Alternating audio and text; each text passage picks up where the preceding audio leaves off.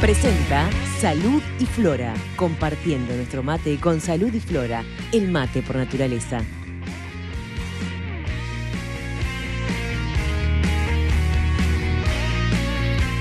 Bueno, tenemos varios aportes de ustedes, varias eh, reflexiones que apuntan a las responsabilidades de- del, del sindicato en cuanto a las medidas que se han tomado.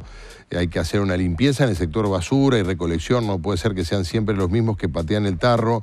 Eh, Beatriz de Sayago, quien apoya al intendente. La base de todo es la educación, propaganda que apunte a los niños que ya de chicos entiendan lo que son buenos hábitos, no tirar basura. En marzo, en Sí. marzo nuestra idea, claro, cuando te- tengamos todos los elementos, la cantidad de camiones de sabio, los contenedores, nuestra idea, o sea, una vez que pudiéramos cumplir a, perdón, a cabalidad con la tarea de la Intendencia, nuestra idea era en marzo empezar una campaña publicitaria educativa a la población. Lo que pasa es que yo siempre dije, estás en el límite de cumplir o cumplir, no, no vas a salir a, a educar. O sea, mejor hacerlo cuando estás, decís, estoy cumpliendo bien, salgo a... Pero bueno, no, sí, está previsto en marzo este, eh, salir, en marzo, abril, ahí tendría que... pero está preparada una campaña comunicacional eh, buscando la educación. Seguramente este, por marzo vamos a estar en eso. Pero Bueno. es, es cierto, mucho en la educación. Claro. También, mira que en el caso este de que comentaba la, la- la amiga de la comercial, es cierto, hay muchos contenedores que está pasando que ahora los vaciamos y alrededor tiene basura. Lo que pasa es que la gente se acostumbra, estaba lleno y bueno, va y- Claro. o sea, eso va a pasar, hasta que no regularicemos puede pasar, ¿no? También ahí aparecen otros elementos, ¿no? Alguien recuerda, dice, bueno, Tabaré Vázquez ganó su, la, intendencia prometiendo erradicar los basurales. Como que el problema de la basura es endémico, es decir, no, no Yo creo sea- que hubo un momento en la primera etapa de los contenedores que se acuerdan que había logrado funcionar mucho mejor. Nosotros inclusive ahora llevamos, yo perdí el número, pero cerca de 20 basurales erradicados con el sistema de cámaras y rotando las cámaras y poniendo multas, ¿no? Perdón. Claro. Eh, es educación y control, educación y control, y control reafirmando la política educativa y de, y de- y de compromiso ciudadano. La verdad que ha habido cientos, lo mismo que pasó con los comerciantes. Tú sabes que los contenedores son para residuos Sí, claro, domiciliarios. Muchísimo comerciante, sea por desconocimiento, sea por lo que sea, vertía, eh, digamos, restos de cartones y cuestiones en, los contenedores. Y bueno, hicimos una inspección, multamos pa- ahí sí, cientos de comercios y ha habido un crecimiento en cuanto a la contratación de un privado que haga el trabajo y que lleve- se encargue de llevarse el, el residuo no domiciliario, importantísimo. Ahí hay toda una tarea educativa y de control, educación, control. Pero bueno, lo primero es que hay que el ciudadano sienta que estamos cumpliendo. Para mí, digo, no sé, por lo menos desde mi punto de vista, yo no puedo exigir si yo no estoy cumpliendo, ¿no? Y siente que no está cumpliendo. Y digo, a la, a la prueba está estos días, este, la realidad es que no se está cumpliendo. Ahora me Digo, decía el cierre del bloque, este, esto es nunca más, eso se tiene que No, eso terminar. es lo que me salió de las tripas, yo lo digo realmente, hay que encontrar una forma, este, sentarse a discutir, y, pero hay que encontrar una forma que no pase nunca más. Hay eh, una, emer- una situación emergente que es la de este conflicto. Usted dijo que estaba dispuesto a llegar a la esencialidad. Adeom dice, pero ¿cómo esencialidad si nosotros no estamos haciendo Bueno, paro? ¿no? Pero si tú no cumples, por la razón que seas, se te cambian los turnos y no cumples, la esencialidad implica empezar con cinco días de sanción, ¿no? Eh, eh, implica de punto partida empezar de eso. Cinco días de sanción para el que falte, aunque no haya medida sindical. Exacto, o sea, Si implica se eso. decreta la esencialidad en el Salvo que servicio sea de una causa debidamente justificada y verificada. no se puede faltar. Exacto. Y el que falta eh, se arranca por cinco días, el primero y el segundo, y va creciendo. eso. aunque falte sin medidas gremiales. La, la- la- la vez pasada se dio un proceso, igual, o sea, tampoco más se va aplicando en el tiempo, tal, eso son Claro. cuestiones. Yo espero, se- pero pero no hablemos de eso, o sea, yo espero en este momento que estemos llegando a los acuerdos que eviten llegar a eso. Todavía me queda un porcentaje de esperanza, todavía. Pero si me dice que la Intendencia no va a aceptar lo del No, horario. no, no, eh, digo, bueno, está bien, pero bueno, pero en la plataforma, ya te digo, hay mínimo de los 10 puntos, hay 6 o 7 que No, fueron... pero eso ya está acordado. Los acordados sí se soluciona, si no se soluciona, para atrás todo. O sea, Ah, este, claro, iba todo en el mismo- Eh, eh, pero perdón, digo, eso es la negociación, si no ganar, No, ganar. de acuerdo, de acuerdo, Si no entiendo, Si no, sí, si sí. no es ganar, ganar, pará. Claro. Digo, una cosa son los zapatos, los guantes, este, el- el- los vestuarios, que ellos saben, tienen muy claro que esta administración, en particular esta administración, ha invertido, porque aparte lo sacamos de cada área y pusimos un dinero central a nivel de recursos humanos para cumplir y que no falte nada de seguridad, para que estén los baños en condiciones. Estamos invirtiendo y poniendo plata todos los años, reservando dando dinero para eso. Una cosa es eso. Pero otras cuestiones, bueno, es un problema de, negociación. Si no, todo en bolsa. Si no, acordás y después te aparecen más puntos, no terminás nunca más. Me da la sensación de que eso es lo que ha pasado hasta ahora. Eh, bueno. No digo desde, antes de la llegada de Daniel Martínez a la Intendencia. Es decir, es una forma de vincularse con la administración departamental eh, es, bastante perversa. Yo, yo además, este, basado en una gigantesca desconfianza. Yo, les he dicho a ellos, es casi imposible construir un clima de confianza real. Yo, hay algunas situaciones que llegan al, al borde de, digo, medidas reclamadas por el sindicato, que estábamos de acuerdo, que adoptamos medidas eh, en torno, bueno, al control de alguna cosa, de, una empresa privada, un área, y pusimos gente, y ah, están poniendo gente porque quieren privatizar. Este, ha llegado a ese nivel, digo, esas cosas que uno dice, pa, pará este, estamos haciendo pasar las cosas mejor, había, identificamos que, era cierto lo que se estaba planteando, que había no cumplimientos, ponés gente para controlar y que es que querés privatizar porque está poniendo gente para controlar la empresa privada que haga las cosas bien. O sea, ahí, yo lo que quería decir, no estoy juzgando. Ahora, ¿cómo se Hay un clima de desconfianza. Y bueno, yo eh, digo, he tendido puentes de, toda dimensión, de hierro, de cemento, de plástico, de, y hemos buscado tratar de, en todo momento apelar a la generación de una confianza. Este, nos reunimos periódicamente con el intendente, hasta estamos eh, planteándole nuestra visión estratégica. Bueno, la última vez planteamos eh, qué íbamos a hacer en torno a la visión de movilidad urbana, lo que queríamos, la idea, todo eso de, peatonalizar Ciudad Vieja, de que, de el 18 de julio no haya vehículos particulares, solo ómnibus eléctricos, ciclovías de vuelta y, y, ensanchar la vía peatonal, de que también queremos hacer intervenciones en la I, que es 8 de octubre, la Y que, forma con 18 de julio, 8 de octubre de Italia. Estamos hasta diciendo, miren, queremos hacer esto para que, el, gremio hasta sepa para dónde va la administración. Es cierto, por las razones que quieras, hay una desconfianza visceral sembrada de mucho tiempo.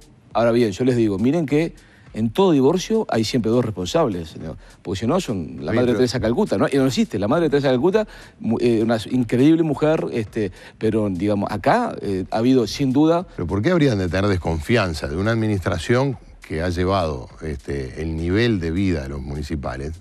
Algo que seguramente usted no va a decir, pero lo voy a decir yo, que un trabajador del escalafón más bajo de, limpieza recibe todos los meses, por distintas vías, salario más otro tipo de, de entre 40 y 45 mil pesos. Esto es así, intendente. Es decir, hasta ese punto, no digo que sea mucho ni digo que sea poco, digo que eso es lo que paga ANEP por dos maestros por, eh, eh, decir algo, ¿no? sé si, eso lo escuché, no sé si paga eso de repente, digamos, con algunas otras compensaciones. Sí, sí, con otras ha mejorado muchísimo. Está bien, pero eh, yo, no me metí en eso. No, de acuerdo. Lo escuché, no, me metí. Pero es un dato significativo, porque es lo que invertimos los montevideanos en nuestro recolector de residuos. Mm, sí, sí, claro, incluyendo otros Yo creo que, está, sí, que hay que, digo, primero, yo sueño que todos los uruguayos vivamos todos cada vez mejor. Claro, claro. Siempre digo lo mismo. Yo nunca cuestiono lo que hará un trabajador porque siempre digo, ojalá que haremos todo mucho mejor. Lo que creo es que por diversas razones se ha llevado a un nivel de, de, caimiento de las relaciones y desconfianza, que lo vuelvo a decir, yo tampoco soy, digamos, todos tenemos errores, no lo dudo, este, pero hemos buscado, este, buscado eh, sembrar para, para lograr una, lo que yo le llamo alguno puede decir, yo sé que alguno, hay gente que tiene una visión determinada, respetable, pero muy radical y muy de que, que dice que eso puede ser. Yo lo que busco es modernizar las relaciones, buscar, y aparte, yo sé que hay gente que no cree que los funcionarios municipales son servidores públicos. Yo creo que somos, todos servidores públicos los que trabajamos en la administración, seamos electos o seamos trabajadores. Estoy absolutamente convencido. No es la misma la relación, como dicen, ustedes son nuestros patrones, nosotros los obreros. No ha llegado a decir, ¿no? No, no estoy de acuerdo. Eh, Nosotros somos los patrones. Claro, totalmente de acuerdo. los verdaderos eh, propietarios. Claro, no, administramos, eh, no, claro, el ciudadano, claro. Cualquier, trabajes en el servicio público que trabaje, sea municipal, estatal, de una empresa pública, Tú, tú, estás trabajando para ciudadanos. Claro. Es un compromiso diferente, no, no, digo, no, no tiene, no es, no es la misma situación. a veces se confunde servir al al ciudadano con servidumbre, como si fuera una actitud de servilismo, no tiene nada Lo que, quieras, pero es un debate que, bueno, yo sé que algunos lo tienen, ah, bueno, ahí no, ahí no vamos pero a intendente, Pero concretamente, dice, nunca, este, nunca, nunca, hoy en el, eh, ¿cómo se llama? El equipo de gobierno, en el, gabinete. En el gabinete, dijo, nunca más hay que tomar medidas, hay que hacer algo para eh, que esto no eh, Hemos empezado a manejar una serie, inclusive para los próximos días, inclusive en situación de emergencia, que digo, no, prefiero eh, prepararme. Además de lo de la eventual declaración de esencialidad. Claro, sí, sí, varias medidas. ¿Se puede adelantar alguna? No, no, no, Hay negociación y ojalá no se, no se, no se contemple, pero, no, no se llegue, a, eso. a ver, pero se refiere a medidas eh, no, pues yo creo que hay, para resolver una situación de emergencia o a un nuevo relacionamiento eh, con el sindicato. Yo creo que hay que avanzar también al otro, pero bueno, eso, eso ahora hay que salir del momento puntual, pero creo que realmente no sinceramente no, no, no, creo que sea justo para los ciudadanos seguir en esta noria, ¿no? No creo que sea justo. Y ya lo vuelvo a decir, eh, uno analiza, trata de estudiar la realidad de, los planteos trabajadores, las posibilidades. tú sabes que al mismo tiempo nosotros venimos luchando con equilibrar el presupuesto de la Intendencia, ¿no? Que, bueno, hemos, trabajado este, denodadamente todo el año para terminar eh, con un presupuesto lo más equilibrado posible. Vamos a ver qué pasa. Ya todavía, aunque bueno, ya tengo datos de octubre, o sea, mira que eh, en la Intendencia hemos logrado algunas cosas que, hace muchísimo tiempo no pasaba. O sea, el 3 de noviembre tuve el balance cerrado de octubre, un mes y poco, o sea, que te aseguro que hace mucho tiempo no pasaba. Porque yo soy obsesivo de que sin información no se puede gobernar. Es, imposible. ¿Cómo puedo saber yo si hay un planteo, si tengo recursos para, para adicionar un gasto más y si ni siquiera sé lo que pasa? Pero bueno, ahora hemos logrado que el 3 de noviembre tuve el balance de octubre, que fue Mucha gente dice, ¿qué, le pasa a Daniel, al pelado? ¿Está loco? ¿Qué, qué importa eso? No, me permite tener una idea... Y hacia la calidad de la toma de eh, decisiones. exactamente, y, de hasta dónde puedo ir, que no puedo ir, y hasta una perspectiva de cómo viene la cosa, con el gasto, con el cumplimiento de las metas. También, si es que no estamos cumpliendo objetivos que, nos trazamos, o es que, es o es que realmente hemos logrado cumplir con los ahorros, porque puede pasar las dos cosas. Claro. Entonces, ahora tengo información, es, es, parte de la, del ABC, o sea, a nadie se le ocurre este, no tener ese tipo de información, ¿no? O sea, pues yo tenía el flujo de caja, o sea, yo sabía cada, cada día cuánto teníamos que debíamos. ¿Usted está encima de esas cosas, sí? Eh, de esas sí, porque, eh, digo, lo vuelvo a decir, eh, yo creo que en la vida uno tiene que ser ordenado y no puede gastar lo que no tiene en ningún aspecto de la vida. Pero cuando tú administras recursos de la gente, con mucha más razón, tienes que tener la, la seriedad de tener la información para no gastar la plata que no es tuya, aparte y que no tienes. No tienes y no es tuya, es doblemente grave. Entonces, este, en el medio de situación, claro, nosotros nos manejamos con todo eso.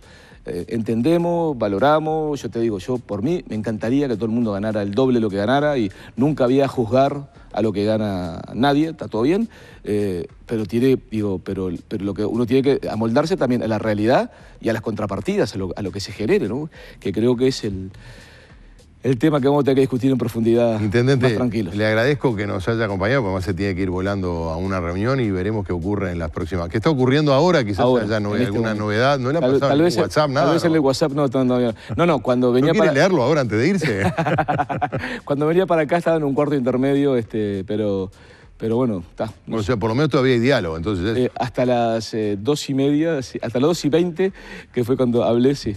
Gracias por acompañarnos. Un placer. Muy amable. Gracias a ustedes por estar allí y bueno, esperemos que se mejore el tema de la recolección de residuos en Montevideo. Nos reencontramos mañana para compartir la tarde en casa. Chao.